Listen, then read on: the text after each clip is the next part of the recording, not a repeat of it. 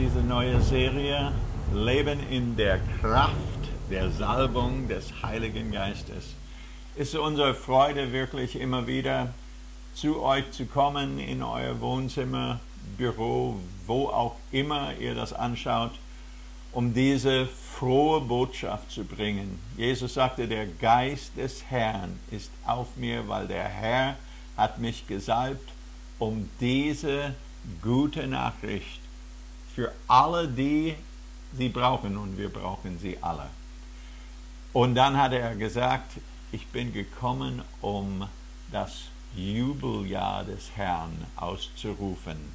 Und wenn man das betrachtet, dann heißt das, wie wir schon gesehen haben, es heißt, wir, er kam, um zerbrochene Herzen zu heilen, Befreiung auszurufen für die Gefangenen und Öffnung der Kerkertüren für die, die gebunden sind.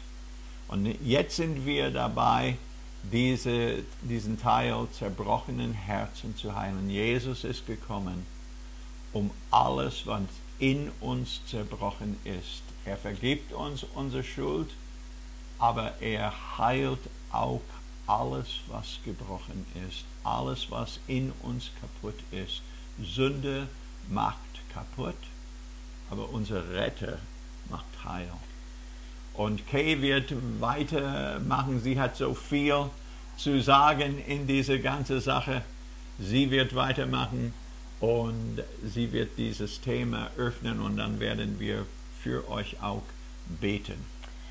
Ja, so, wir haben gesehen in der Bibel, es ist Gottes Wunsch und Sehnsucht, dass es uns gut geht in allem, Mhm. dass wir gesund sind, so wie unsere Seele gesund ist. Oder die Bibel spricht auch von die Rettung der Seele.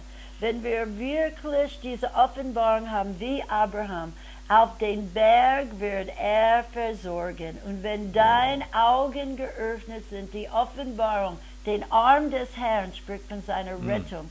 Seine Ja. Rettung ist durch das Blut, wo Jesus selbst weggetragen hat.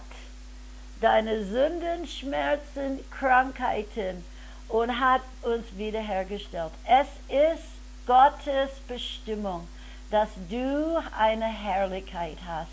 Du hast eine Herrlichkeit, dass Gott dir gegeben hat und Gott kämpft für diese Herrlichkeit. Es ist der Dieb oder dem Teufel, der wirklich ist gekommen, zu stehlen, töten und verderben.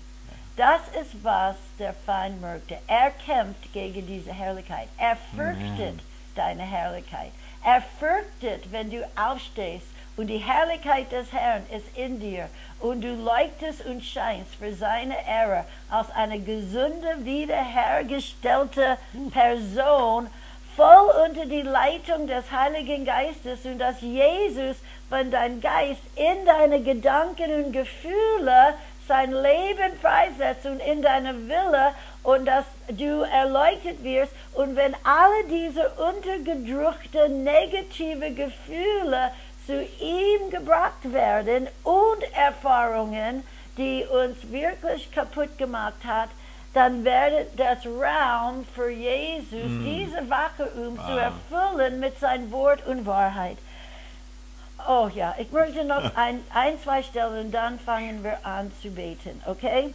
1. Thessaloniker 5, 23. Er selbst aber, der Gott des Friedens, er selbst aber, der Gott des Friedens, Shalom, Wohlergehen, Heilung, A- Frieden in alle Dimensionen deines Gedanken, Herz, heilige euch völlig und vollständig. Heiligung bedeutet, dass Jesus nimmt zu in dir. Dass Jesus erfüllt alle Räume deines Wesens völlig und vollständig. Möge euer Geist, Seele und dann Leib Yeah, wow. untadelig bewahrt werden, bis die Ankunft unseres Herrn Jesus Christus. Treu ist er, der euch beruft, er wird es auch vollbringen. Hey, Gott kämpft für deine Herrlichkeit. Ja, du hast einen Feind. Du musst aufstehen. Du musst glauben an die Botschaft. Du musst äh, dein Sachen herausbringen zu ihm. Aber Gott kämpft wirklich für dich. Und äh, ich möchte noch eine Stelle lesen. Römer 15, 13. Der Gott der Hoffnung. Wir haben gerade gesehen, der Gott des Friedens.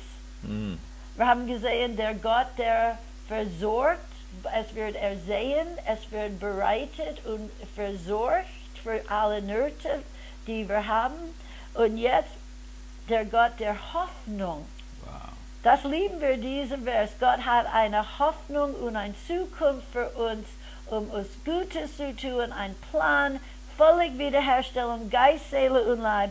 Aber erfülle euch mit allen Freuden und Frieden Mm. im Glauben.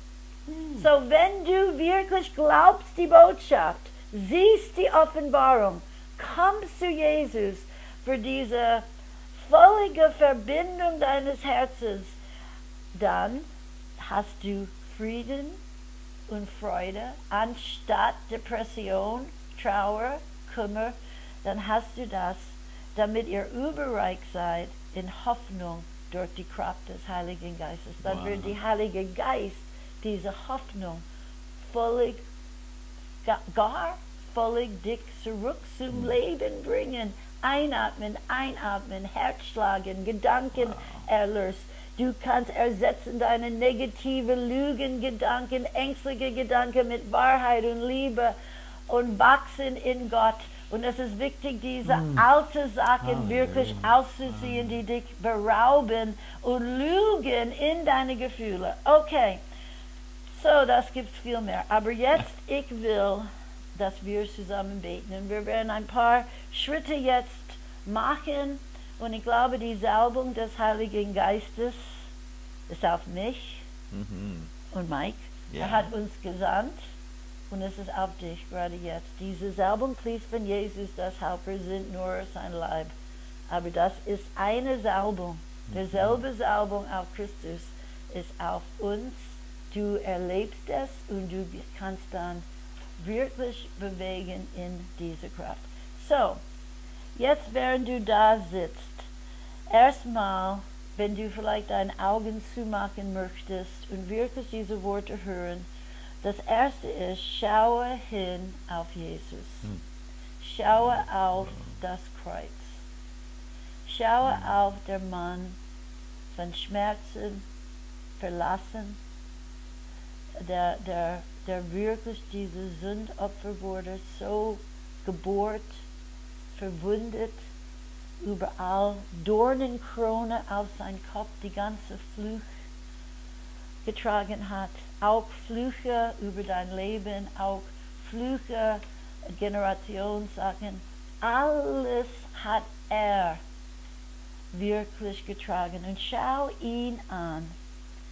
Und wirklich jetzt bei diesem Punkt, bringe jetzt, was der Heilige Geist alle Erfahrungen oder Erlebnisse oder Erinnerungen, die Schmerzen haben oder was du erlebt hast, bring die Sachen zu Jesus. Jetzt vielleicht, du hast nicht genug Zeit in diese Clip alles zu tun, du kannst nachher oder diese Woche hinsetzen, wenn es irgendein Mensch ist, eine Erfahrung.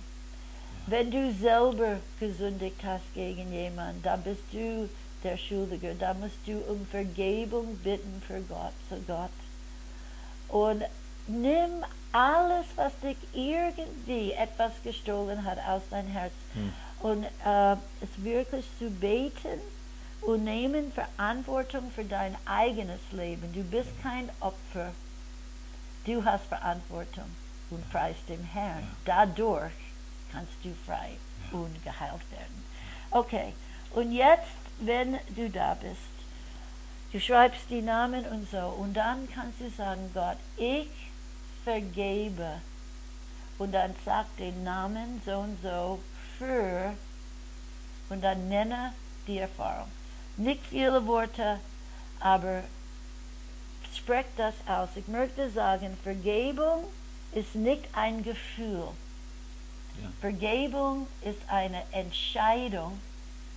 Vergebung ist nicht für den anderen Person, Vergebung ist für dich.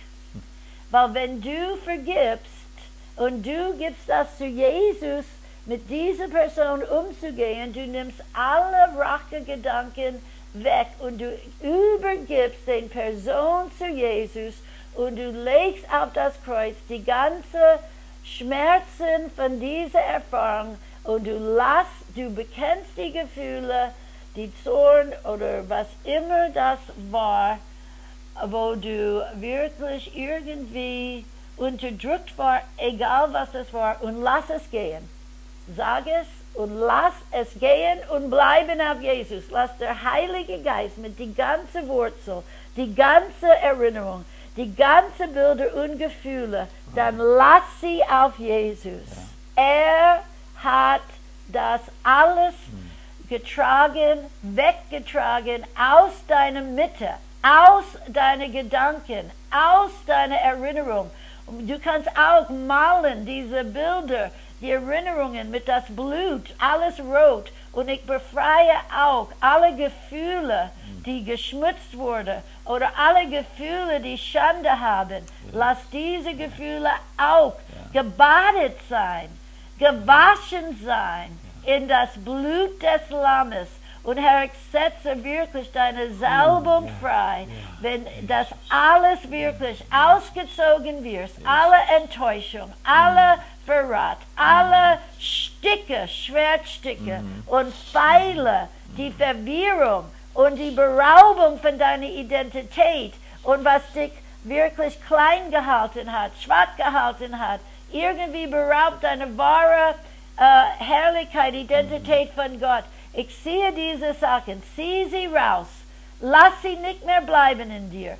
Bring sie zu Jesus. Es war wie der Mülltonne, die Sünde der ganzen Welt und auch alles, was gegen dich war.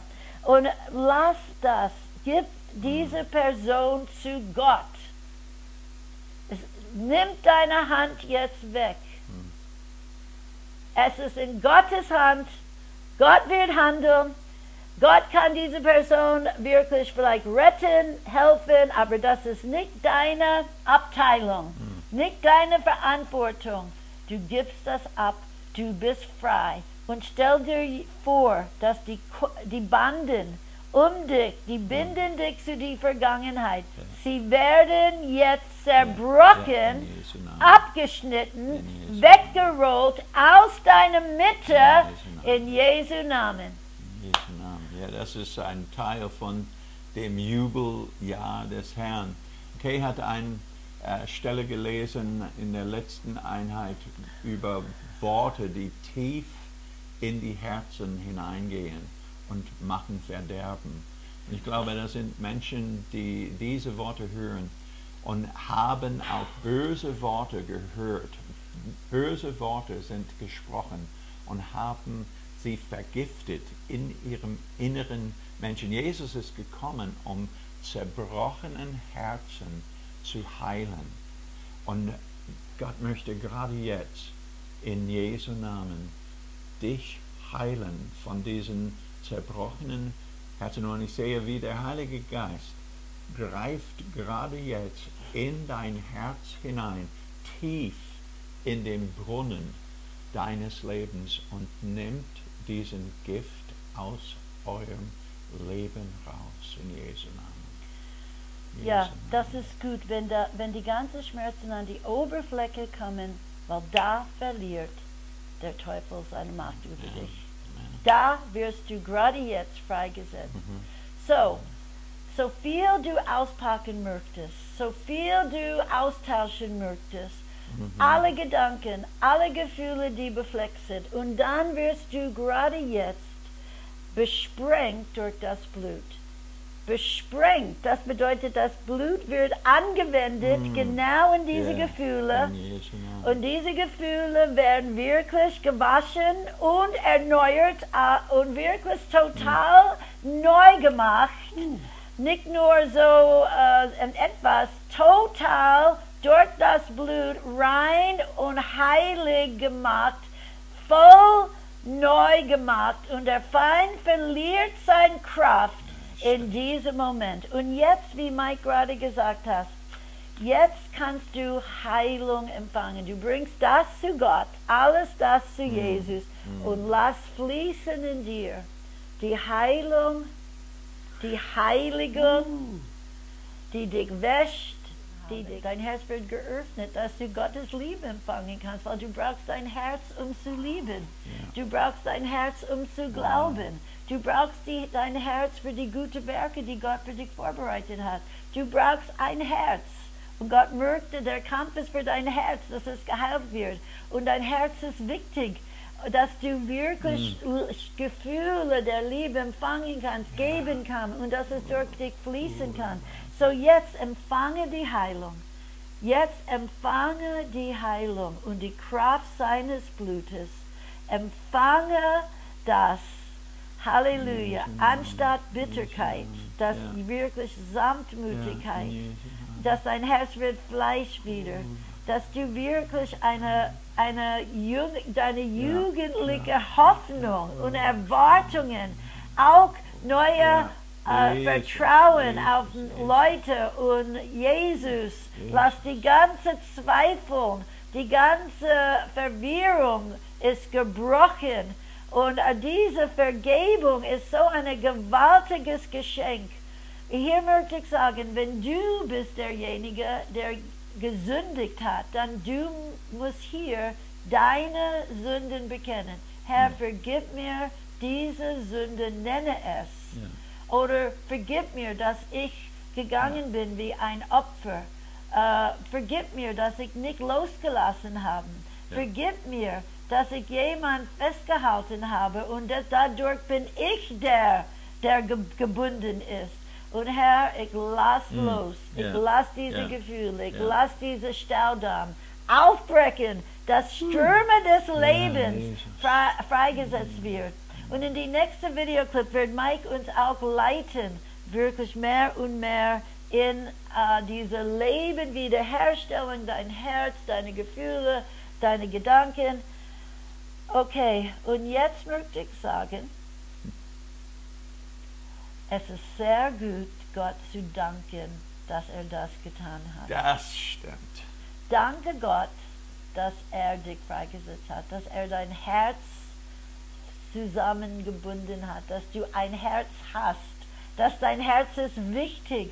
Dein Herz ist die größte, kostbarste Schatz, das Gott dir gegeben hat.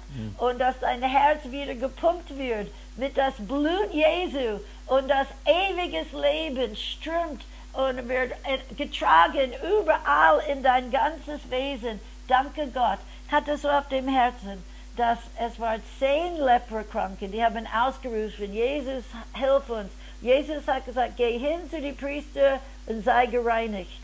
Und während sie hingingen, sie waren völlig rein, aber einer kam zurück und dankte Jesus, warf ihn zu die Füße, betete ihn an, dankte ihn für die Heilung. Und Jesus hat gesagt, du bist nicht nur gereinigt, du bist gerettet und geheilt.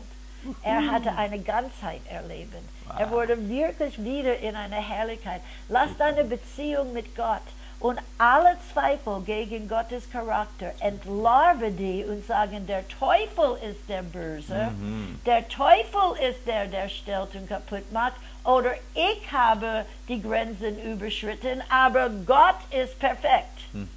Er ist, macht keinen Fehler. Und wenn du Zweifel an Gott hast, dann bitte ihn um Vergebung. Und sage, ich weiß, du bist heilig, du sündigst nicht, du, du machst nur Gutes, vergib mir für diese Einstellung der Fragen und Bitterkeit und Zweifel. Und wirklich lass diese Beziehung, diese Liebe jetzt, diese Heilung und dann diese Dankbarkeit fließen. Und wir werden das weiter in die nächste Clip, aber dann erneuere deinen Verstand. Lass deine wahre Identität in Christus wirklich hervorkommen. Okay, ich möchte hier aufhören, wir werden ein bisschen weitergehen, das nächste Clip, aber hier möchte ich sagen, Christus in dir Hm. ist die Hoffnung Der der Herrlichkeit. Aber in Christus, in dir, du hast ein völlig neues Zentrum. Er sitzt auf dem Thron. Lad ihn ein in dein Herz, zu wohnen, zu regieren, als dein größter Schatz, als der Retter und König deines Lebens. Lass seine Liebe durchfluten, neue Wurzeln schlagen in der Liebe Gottes, neu gegründet sein in Liebe, Annahme, Sicherheit, Schutz, Vertrauen auf Gott und alle Mauern fallen und du wirst merken, du kannst empfangen Liebe von Gott und du, du bist frei, frei, frei. Ja, wir möchten euch einige Medien vorstellen, was helfen kann in dieser Serie Leben in der Kraft der Salbung des Heiligen Geistes. Ja, und ähm, das Buch von Monika Flack, das Kreuz, lebst du davor oder dahinten, kannst du in unserem Shop bekommen, 15 Euro. Und das hat alles drin. Freizusetzen, Hingabegebet, was das Kreuz wirkt. Da, wenn du das studierst, dann hast du wirklich viel gewonnen. Und hier ist Geliebt, gewappnet, gefährlich, ein CD, erkenne und bekenne deine neue Identität in Christus und das Heft mit dem Text und das ist die Bomben der Wahrheit. Dann in die neue Schöpfung zu leben und das auszusprechen, erkennen und das setzt die Energie, Aktivität Gottes und die Wahrheit frei in dein Leben. Und hier gibt es äh, das Buch, das Studierheft, keine Brücken nach Babylon, ein Abschluss mit der Vergangenheit, geschrieben worden, damit wir nicht nur frei werden, sondern auch frei bleiben. Und diese ganze Paket, wenn du die alles holst hier, ist 30 Euro alles zusammen. Sonst kannst du jeder auch einzeln im Shop kaufen. Aber wenn du das willst, dann schreib auf den Bestellung Freiheit. Das ist der Code. Freiheit. Und so, wir schätzen auch euer Feedback bei dieser Serie. Äh, bitte schreibe uns an der E-Mail-Adresse unten stehen. Und wenn ihr dieses Kanal abonnieren wollt, auch einfach den Knopf da drücken und dann werdet ihr immer informiert werden, jedes Mal, wenn wir eine neue äh, CD, äh, neue äh, Video ausgeben. Danke.